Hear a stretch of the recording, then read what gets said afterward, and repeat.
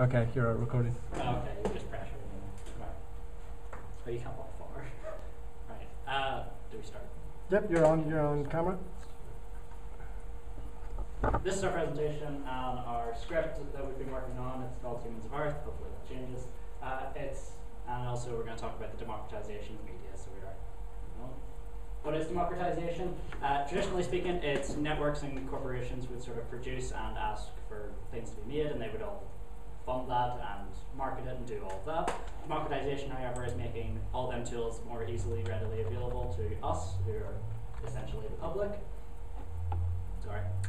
And then also being able to get direct to the consumer and using new platforms such as social media and such like that, that we can go to them directly without having to go through the traditional route.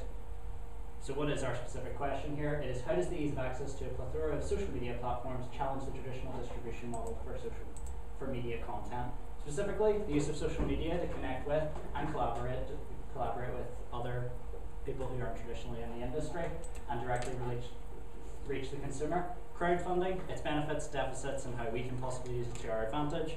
And our project itself, how are we collaborating together and what are we taking from this research we're about to share with you to our project going forward. So how have we been collaborating? We've been using things such as Writer's Duet, so we have, which is a professional uh, program which allows us to work together live on a script. So it is in association with Microsoft Teams, which allows us to stay on call for hours essentially and talk as we do the live edits. And also we can share files in production, just stuff like that on there. And also we've been using an Excel document to plan out our task, tasks as well as keep us all on track and make sure nothing's missed. Here's a wee sneak peek at that. Uh, it's simple traffic light system, red, get your ass in here, yellow, it's okay, and complete it, it's done, stop worrying. You can see very clearly, dates are organised, tasks being allocated, what action is it that needs to be taken, who's doing it, when's it due, and then we come to a consensus, do we like it, do we not, what needs changed, needs changed, in the notes, bang, it's a new one. That happened with Matt's, we needed him add pros and cons, he's the only one who needed to do it again, it's your fault. Um, so we've, of course, as you can see, been using remote collaboration. So what are the advantages of that compared to the traditional studio collaboration? Flexibility, affordability, and diversity. Flexibility, no matter where we are, we're able to connect and talk to each other. We don't have to factor in schedules or travel time as much. So as affordability, study shows that it's much cheaper for companies essentially to work remotely as opposed to meeting up in person and getting office space. Diversity, if we want to tell stories about certain people, different ethnicities and stuff like that, or even get professional people abroad, we can simply hop on a call with them and we're straight to them. What are the cons of that, however? Inclusion, interaction, distraction. Inclusion, we're cutting out some people who aren't just tech savvy, Fergus. And interaction, interaction. Uh, we don't have those water cooler moments where we have a natural development of the script and talking about different parts of the project. That's of course missed out on a little. Distraction, of course, we are at home. Your life's gonna get in the way by working at home, are. And yeah, that you got the internet in front of you, you're gonna get distracted. Who's talking to you, even though you already know us? Meet the team. We've got Fergus. Fergus is, was working on the team as a writer. He's also spearheading our marketing document, and he's to talk to you in a minute here about the social media side of things. So he is. Matt, he sort of took the lead with the script, so he did, and he's worked through on crowdfunding. I'll join him at the end to talk about our project. And me, I was working on project management, sort of keeping the Excel document in order, as well as I also collaborated on the script. And I'll see you at the end. Fergus, please take.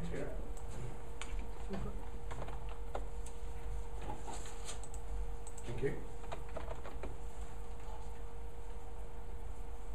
Okay, so essentially uh, you can use social media in three different ways, three different stages in your production. Um, firstly, obviously to help secure funding, crowdfunding, we've talked about already. If you want to cast a net out to get your cast and your crew, uh, and you can also use it to market and promote your film when it's complete. Um, I think one of the very important things is that if you're going to do social media well, you've got to actually plan to do it. Um, there's that old maxim, fail the plan, plan to fail. Um, we've been planning from the start, you'll see this in the presentation. Phasing is an absolutely vital part of social media. Uh, you know yourself in terms of Kickstarter and other funds. When you launch, you get a boost, then there's a big gap, and then at the end, you're racing to try and get over the line, etc. So if you actually phase your whole campaign, you can get over that particular hump. Another way in terms of phasing, each social media reaches a different audience. So if I say to you Facebook reaches people who are over 50s by and large, deep pockets, plenty of money, reach out, etc. What's the best time to hit them with Facebook? Before 10 o'clock in the morning and after 4 o'clock in the afternoon. Maximum audiences. Targeting. Social media allows you to micro target. Um, I come from a very different background in terms of doing advertising. I've done, you know, a two hundred fifty thousand pound ad campaign. That literally is like taking a shotgun and firing it. Micro targeting, which you can do on social media, means that you can actually use the demographics to target your audience. We're doing a sci-fi film. You might say there's not many sci-fi folk in Northern Ireland, but we can reach out globally using social media and micro target them. Responding, it is so, so important that you do not leave it to the day after. You've got to man when you're doing crowdfunding all the way through 24 hours. If somebody comes in with an ask, they're not going to wait for you to get back to them tomorrow. They want to know now. So that's important. Data capture. Somebody comes and approaches you on social media. Remember, it's a two-way communication tool, and they ask, Tiernan, tell me this, um, when do you actually think you'll have the film complete and where can I see it? Okay, if you've got your data capture in that, you'll know that individual already wants to know all about your film and realise it. Why not hit them then with an ask, get back to them, it will be done by such and such, would you like to chip in? Continuous evaluation. You started with a marketing campaign, you've planned it, you're now executing it, but are you reviewing it as you're doing it? You can spend a lot of money in this and absolutely fail. But if you manage it and do it well, continuous evaluation, you can change things as you go along. Social media also is about your cast and your crew and so on. I just put up some examples of various different groups that are out there on social media to contact each of those. Um, I've broadly just looked across the British Isles, but obviously you can look globally and so on. Each has got their strengths, um, uh, but that's a, an example. Oops. Uh, key aspect of all this is, you know, it's about global reach. You can actually reach out. You no longer are tied parochially. It enables micro targeting. You can be very, very specific. You can reach out to all those nerds and geeks who absolutely love sci-fi. It facilitates you to actually get a better cast and crew because you can cast your net to when people are available, not just waiting for them to become available. You can request mentoring support. Um, I, that's a big thing, you know, for me. If we're newbies and out there and so on, there's always people out there who are willing to give you off their time, and time is critical. You don't have to pay for that. Signposting. Um, one of the things I've picked up looking across all of those particular social media sites and so on is lots of people put information about when there's calls out there for funding and, and commissions and so on. You can pick that. And the most, the most important thing of all of this is, at the end of the day, you're marketing yourself. The deficits, of course, are this is a competitive industry. I mean, at the end of the day, everybody's out there to get their script made. And as you do this, you have to be very, very confident that you've got everything nailed down and somebody just doesn't steal your idea and it you can fall back into a very bad habit of a very narrow tool. You know, you've raised your money globally, but you're spending it locally. Marketing globally, there's a danger, well, I've covered that you're going to be sucked back locally. Um, commissioning in Northern Ireland, by and large, is still about who you know. You know, the very fact that the screenwriting, whatever, is closed demonstrates that to a greater extent. What about all the new talent coming in? Um, maintaining and utilising social media, it's very time consuming. We've talked about this and we've said, okay, if we were doing this live, we'd have to allocate eight hours a day and do shifts so we can respond.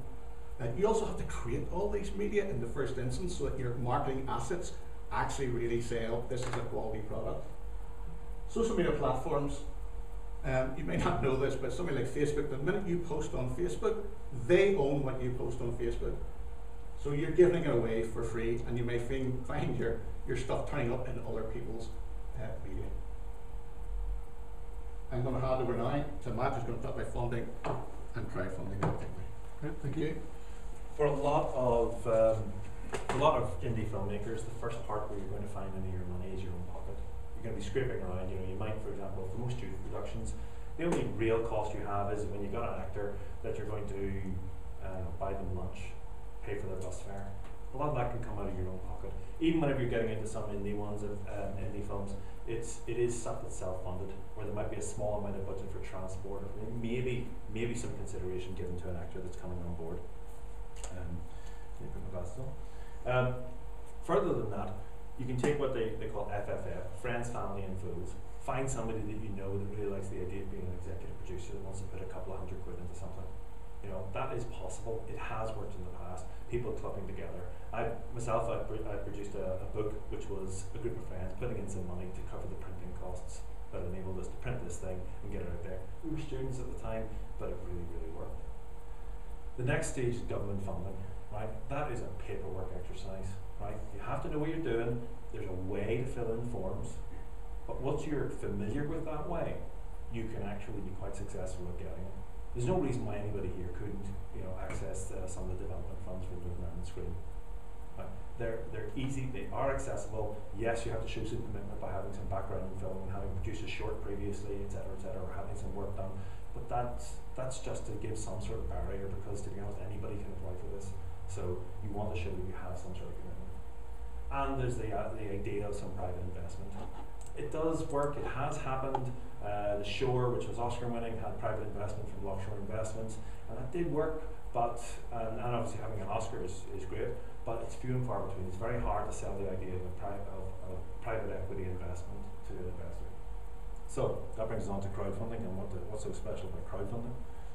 Crowdfunding, I actually love the idea of it because rather than having to convince one commissioner or one executive in Northern Ireland Screen that my idea is brilliant, I have the opportunity to speak to 10,000, maybe 10 million people, right? And I only may need 1% of them to agree with me and put a little bit of money. I'm not asking one person for £10,000, I'm asking 10,000 people for one pound. And that's a very exciting prospect. Now, the big two platforms out there, there's lots of them out there, but the big two are Indiegogo and Kickstarter. They have massive audiences, so why wouldn't you use one of those? With headlines also, multi-million pound um, projects, right? You are crowdfunding for product, not for equity, so you retain all of that. Whereas, you know, in some funding schemes, for example, Northern Ireland Screens funding schemes, you're actually giving away part of the profits of your uh, of your production. And there are different risks for each of these. Um, Indiegogo tends to have lower amounts of money, but that's because it's it's not it doesn't have the same all or nothing with Kickstarter. With Kickstarter, when you're putting your, your project out there, you have to hit your target or you miss everything.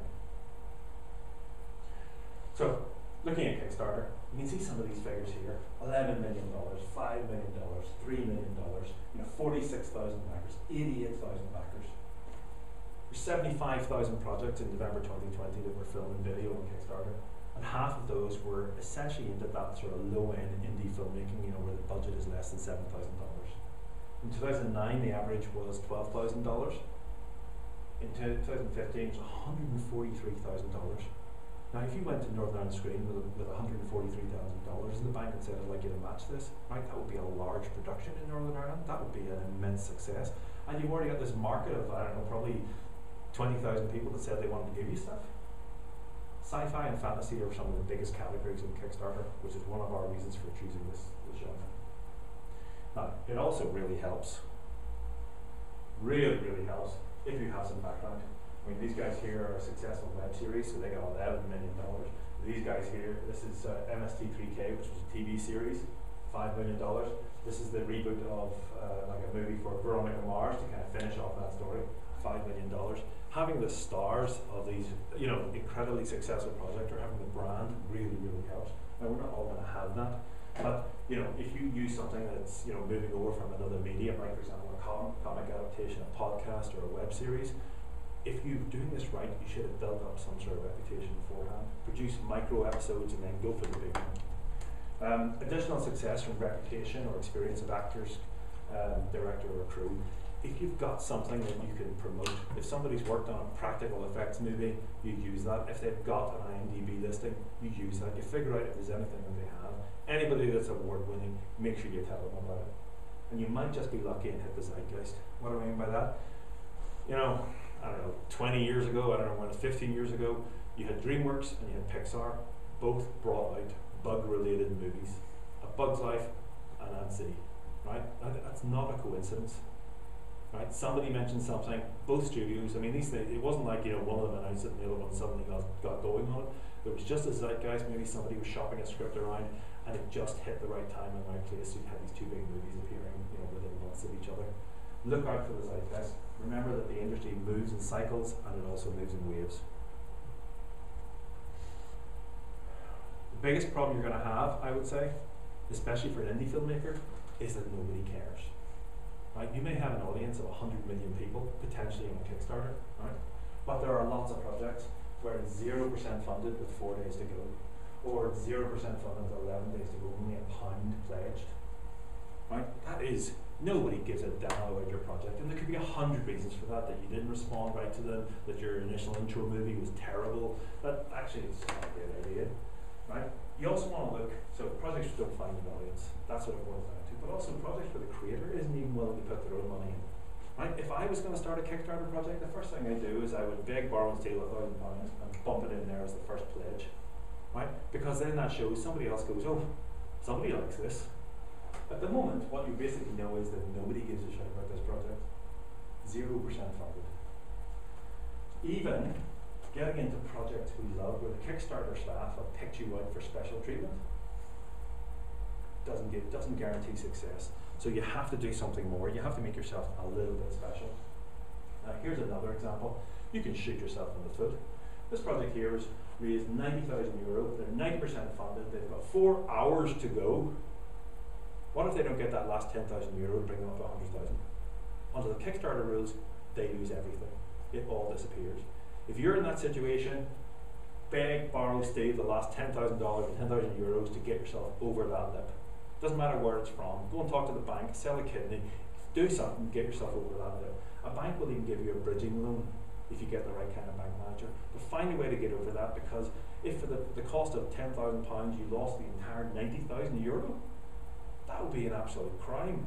Because I guarantee that if you are smart, you put a budget up there of 100,000, but you know what? You could probably do it for 80 probably skim off some things, cut back some things, and still make the project. If you really want the project, make sure you get over that total. There are, um, so again, unlike e- equity investment, people pledge for rewards. They want uh, a digital copy of the film, a DVD of the film, a Blu-ray of the film. They want the T-shirts, and there's also this possibility that they just want to see it happen, so they're pledging for goodwill. They don't really give a damn whether or not it works. It just is a cool project, and you are ambitious. You want to try and engender that that you're one of the people that you're, you know, this this democratization idea is actually more like politics than you think. It is you are meant to be liked by these people so that they will put you in that position and you can realize your dream. So and remember, if you don't reach the total on Kickstarter, all is lost. It's like being the you know the second in an election. It's like being Pepsi. Actually, that, that's not a great example because Pepsi are doing really well for themselves. But you know, um, it still is a need to be tactical, and there's a need for a plan. Using thing tools like Kickstarter. Now, uh, Kickstarter has their own project management tools, but Kicktraq is fascinating because you can go back and you can analyze exactly how much went into each project. You can put in any project you want. So if you're making a film, find a film that's like yours, put its details into Kicktraq, and it will tell you. It shows you the you know how many people put in money at the start, this chasm of despair where nobody was putting in any money, and then this this this little bump at the end. And you'll see that repeated again and again. And a lot of the time, what you'll find is you can work it out from the amount that people are pledging. But a lot of the time, this last bump is actually the people who are owning it, you know, the project creators, going, we're, we're, not quite at the total, let's stick in 10 grand. You know, find the rich uncle, dig up the, you know, reach out the back of the sofa, find that money and get ourselves over that. You need eyeballs looking at this. You need to have lots of social media presence and an awful lot of responding and phasing, just like we said earlier, just so you can make sure that every single one of those eyeballs there is not just looking at it, they're paying for it. Right?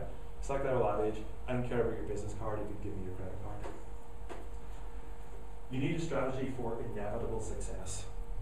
Right? So that it doesn't matter if you're not getting exactly what you want, that you're going to succeed because your next Kickstarter will depend on whether this one was successful. It's much easier to get a successful Kickstarter if you've already had one. So don't fail on your Kickstarter. You should know the first time you, the day one when you kick off your Kickstarter, that it's gonna work. And it does really help if you're already famous. So if anybody's got that going for them, use it. Is it better than the traditional route? I personally think so. This idea of convincing a really small number of people for a large amount of money and the success and failure is black and white. You get a yes or no very, very quickly. And I know from personal experience that no is galling. I also know that the yes is intimidating. But when you're doing it on a, on a, on a crowdfunding, you've got thousands of people that are basically saying, yeah, I like what I'm hearing. It's not based on such a black and white idea. Acceptance in the film, the film festivals, again, getting in there is on the basis of a small number of people, right? The film festival gives you access to a large number of people watching it, increases your views, but even getting on there is a small number of people. You're, you're being held hostage by these small numbers of people. Crowdfunding, it's much more shades of grey. You're convincing a large number of people out of a huge number of people to back your project. You can fail, but you've got direct control over, over that outcome. A lot of it really boils down to is your communication on the scratch. Ultimately, you can't make a silk purse out of a sow's ear, right? If it's a crap project, it's not going to get funded, right? But you should know from day one, when you kick off your Kickstarter, that this is going to get funded. You should know. So what's our plan? My first part of the plan was get Irish passports and go to Spain because I want this to be my last Irish winter. Right? The guys did not go for that plan. Mm-hmm. What they wanted to do was develop a pitch document, recruit a good director, get a good cast list to find out who's available and who's interested, and film a great intro for our Kickstarter, which is probably a better plan than mine. But that's what the plan seems to be at the start. We can see some effective film uh, examples with small cast and crew. Now, Ten Cloverfield Lane was a blockbuster movie, right?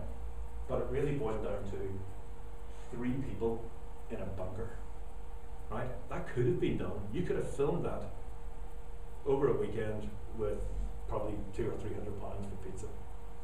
You could have done it that way. Maybe not the, the special effects part at the end, but you know, you could have done it that way. Fall. We all watched Fall. That was two kids in a quarry. What did it require? An awful lot of brain power, but not a lot, not a lot of budget. Uh, Withnail and I, you could cut out all the extra characters and really just have uh, McGann and Grant talking to each other the way, and that would have actually still made a great movie. It didn't need the, the larger budget that it had. And Alone, which we're going to we'll focus on, is a short film. There were three people involved in that film. One cast was, well, there were three cast members, uh, two were voice only, but there was one cast on screen, and there were only two crew, one of whom was a cast member. So this example, incredibly small cast, just one dude, monologue, there was very he didn't have to he didn't actually speak any lines, so there was really really reduced need for audio sync, um, just a bit of foley. The runtime was five minutes thirty seconds, three point six million views on YouTube. It was award winning. There's a link to it there, um, but it, it that's such a tiny budget, and actually it got a huge success. And I guarantee that the people involved went on to bigger and greater things because they can always point at that project and go, yeah, you know what, we don't suck. Um, what lessons are we applying to our script? Right? Cast and crew members manageable. People are your biggest cost. Make sure the genre and themes can be explained. Make sure that it can be explained. I shouldn't have to say this at third time, but I will. Make sure it can be explained. I don't care if you say that it's Godfather, but we're using insects to represent all the mafia people, or if it's Basic Instinct, but with squirrels. I don't care what it is. Make it relatable and explainable. Keep your locations limited. Locations are cost, transport is cost. There's also a health and safety issue you know, with more location. And keep your rewards relevant. Existing resources, signed copy of the script, art plates, special DVD edition, posters, lists and credits, executive producer. Something's achievable. Don't be promising that you're going to fly somebody out to actually meet the cast and crew, because you know what? They could be in New Zealand. That's the problem. It's great if they're in Belfast, not so great if they're in New Zealand. That's going to cost you a fortune. Peter? Here's what we're applying to R script. It's very easy. Uh, it's three cast members. You've got the dad, son, and then you got that alien thing. Don't know how to do that yet, but it's there. Project has one location. It's a farm that comes with its whole barn, field, usual scenario. Uh, for the geeks, science fiction, of course, is going to be promoted because Kickstarter, we've seen science fiction does well. It's sci-fi, we're going for that. For funders, we can tell there's wee refugee and inclusion elements. That's sort of like an underlying theme. Hopefully, that's a bit relevant. Go to a traditional conventioner, they'll go, yep, that sounds grand. For backers, we have a checklist of materials and products for generation. On our marketing document, we've got a wee list as to what exactly we're going to give to people, uh, just usual stuff like posters and yada yada yada. And for Kickstarter, we've got some. We're going to get some standard visuals. Visuals. That's our mood board. It's made by Mal. Yeah. There you go. Some visuals. Uh, and then Fergus threw together some poster things that we did. And then that's our one log line. Father and son story at the end of the world. Simple, clean, to the end. Do you have any questions? I ran out of sound. Uh, yep, run close. Um, no, that's very comprehensive, guys. Well done.